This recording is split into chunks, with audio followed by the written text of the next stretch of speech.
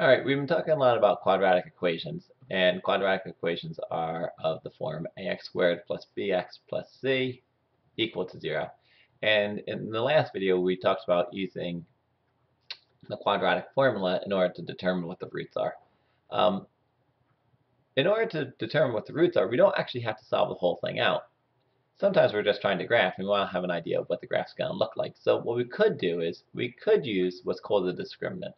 And the discriminant is what is underneath the radical sign. Um, in particular, or I guess I should say specifically, b squared minus 4ac.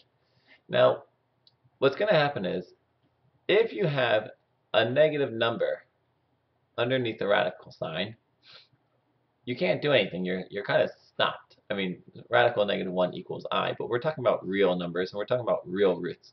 So if you have a negative underneath the radical sign, it doesn't matter what negative b and 2a is, you're, you're finished, you're done. And so if b squared minus 4ac is less than 0, in other words, um, there's a negative underneath the radical sign, then one thing is certainly true, there are no real roots. And if we were going to graph something like this, it would be a parabola that's something like that or like that. And you'll notice that does not cross the x-axis.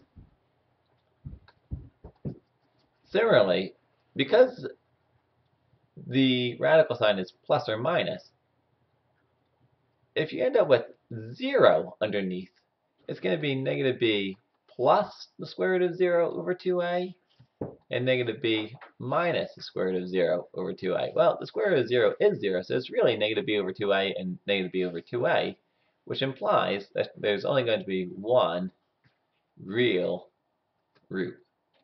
And once again, if we were going to take a quick look as to what this would look like, it would be a parabola that touches the x-axis at exactly one spot.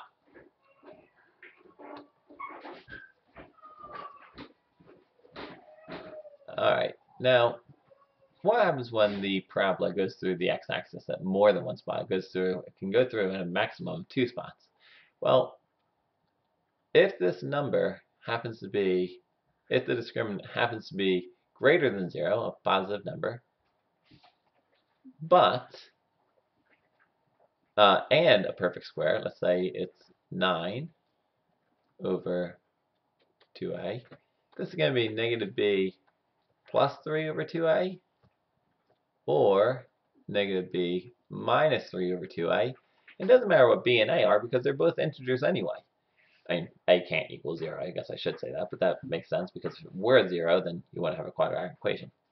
In any event, when you do this, you get two roots, and they're going to be real rational roots. So it's two rational roots.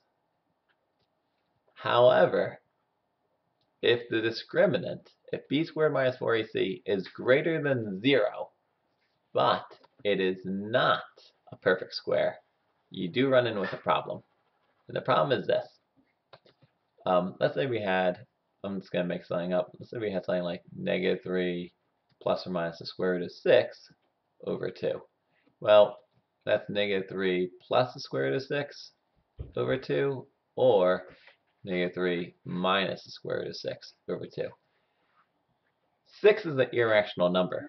And if you add an, an integer to an irrational number and then divide it by an integer, you still have an irrational number. Similarly, if you have an irrational number, you take a negative 3 minus an irrational and divide it by an integer, it's still irrational. So these, when you combine them and you put the whole thing together, you get two irrational roots. You could actually find the value for these. Um, we know that square root of 6 is somewhere between, uh, let's say, 2 and 4. Um, and get a decimal value, but it's not going to be a, a, a terminating decimal or repeating decimal, obviously, because it's irrational. Um, if you're trying to graph this on a, on a graph and you want to make it as accurate as possible, get a decimal approximation. Maybe use two spots, one spot. Um, Otherwise, if you're just looking for the actual roots, this answer and this answer are not only perfectly acceptable, they're perfectly correct. A decimal approximation is just that, it's an approximation.